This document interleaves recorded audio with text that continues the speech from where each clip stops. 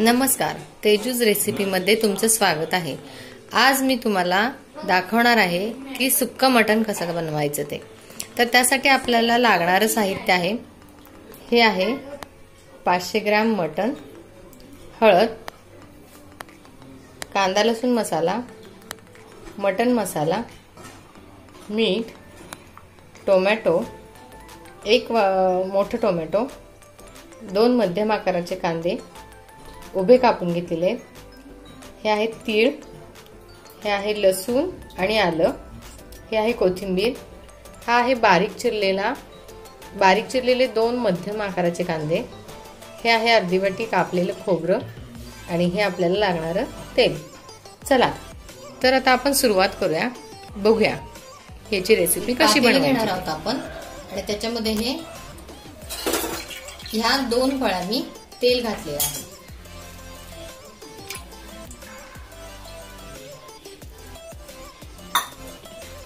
तेल गरम झाल्यानंतर त्याच्यामध्ये आपण हा बारीक चिरलेला कांदा टाकणार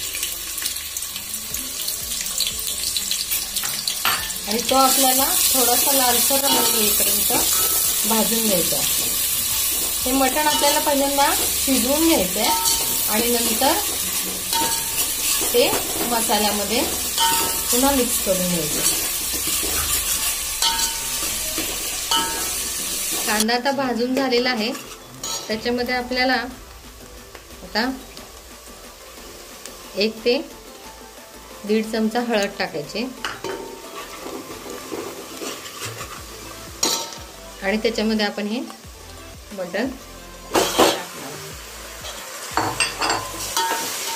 हे पूर्ण एकजीव करायचं. एक सारखं झालं पाहिजे.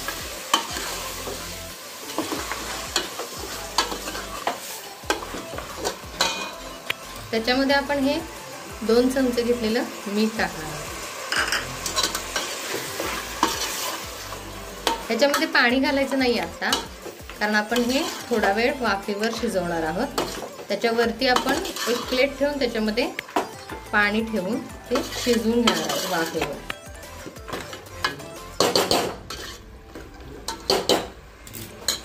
आता ह्याच्यावर आपण एक प्लेट ठेवणार आहोत. ह्या प्लेटवरती आपण पाणी टाकणार आहोत. हे वर वरती पाणी टाकल्यामुळं काय होतं? तर त्या आतल्या वाफेमुळे आणि ह्या वरच्या ह्याच्यामुळे प्लेटमुळे ते आत छान त्याला पाणी सुटतं. आपण मीठ टाकलेलं असतं त्याच्यामुळे त्याला छान पाणी सुटतं आणि ते आतल्या आत शिजतं. हे पातेलं आपण मीडियम फ्लेमवर ठेवायचं आहे आता हे आपण मीडियम फ्लेमवर त्या बाजूला ठेवून या बाजूला आपण आता मसाल्याची तयारी करायची आहे. आता प्रथम आपण ह्याच्यामध्ये तीळ घालणार आहोत. हे एक मूठ तीळ घेतलेले आहेत मी. त्याच्यामध्ये थोडेसे जिरे टाकलेले आहेत मी. आणि हे आपल्याला एक मीडियम फ्लेमवर भाजून घ्यायचे आहे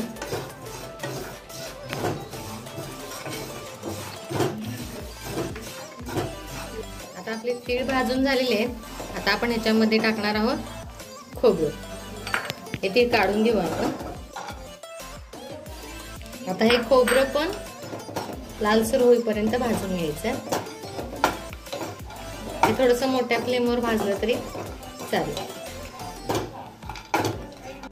खोबरं आता आपलं भाजून झालेलं आहे. हे बघा कसं लालसर भाजलेलं आहे. आता आपण याच्यामध्ये टाकणार आहोत कांदा. हे काढून घ्यायचं आहे आणि याच्यानंतर याच्यामध्ये आपण कांदा टाकणार आहोत. आता याच्यामध्ये आपण कांदा जो लांबडा कांदा कापून घेतला होता ना आपण तो आता हा वाटण्यासाठी आपण भाजून घेणार आहोत. त्याच्यामध्ये थोडस एक चमचा तेल घालायचं.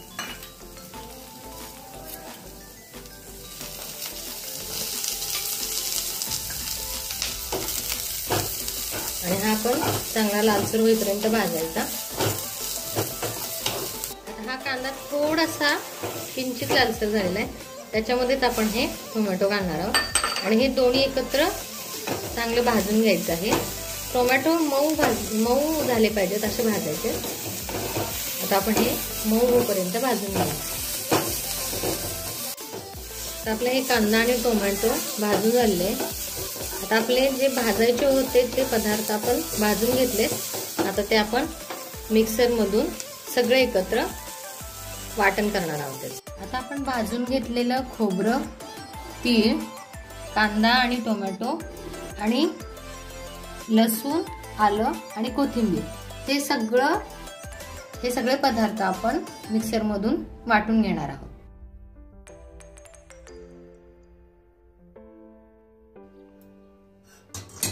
हे बघा. आपण आता या मटणामध्ये पाणीही घातलेलं नाहीये पण वाफेवर वाफेवर किती छान त्याला पाणी सुटलेलं आहे. आणि ह्याच्यामध्येच जास्तीत जास्त शिजतं ते मटण. त्याला आपण आता थोडंसं भरून हे जे ताटातलं पाणी होतं ना त्याला आपण पुरवणार आहोत म्हणजे ह्या पाण्यावरच ते चांगलं शिजलं जातं. पुन्हा आपण याच्यावरती एक ग्लास पाणी टाकून चला तर आता मटण शिजलेलं आहे. आपण एका पॅनमध्ये तेल घेतलेलं आहे. आणि त्याच्यामध्ये आपल्याला हा आता कापलेला कांदा आहे तो टाकून घ्यायचा आहे. आणि तो लालसर होईपर्यंत भाजायचं. आहे आता कांदा भाजलेला आहे. त्याला सोनेरी रंग आलेला आहे. आता आपण त्याच्यामध्ये हे जे वाटण केलेलं आहे मसाल्याचं तो मसाला आपण याच्यामध्ये घालणार आहोत.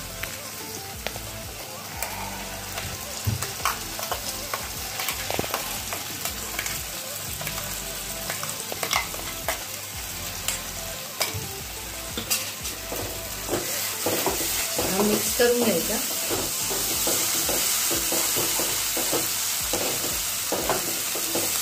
हा मसाला थोडंसं तेल सुटेपर्यंत भाजून घ्यायचा. मसाला आता भाजून झालेला आहे. आता त्याच्यामध्ये आपण कांदा लसूण मसाला घालायचा. आपल्याला जसं तिखट हवं असेल त्याच्यानुसार आपण मी एक चमचा घातलेला आहे. आणि त्याच्यामध्येच हा एक चमचा मटन मसाला घालायचा.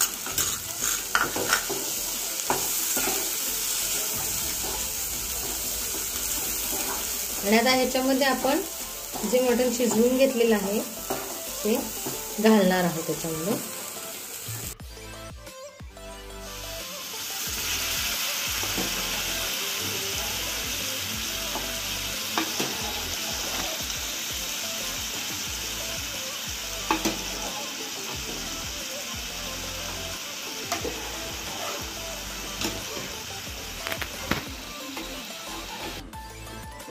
मटणाचे पीस मी याच्यामध्ये घालून घेतलेले आता हे पूर्ण एकजीव करून घ्यायचं. ह्याच्यामध्ये शिजताना थोडं आपण मीठ घातलेलंच आहे. पण आपल्याला चवीनुसार जर लागलं तर आपण ह्याच्यामध्ये अजून थोडंसं मीठ घालणार आहोत.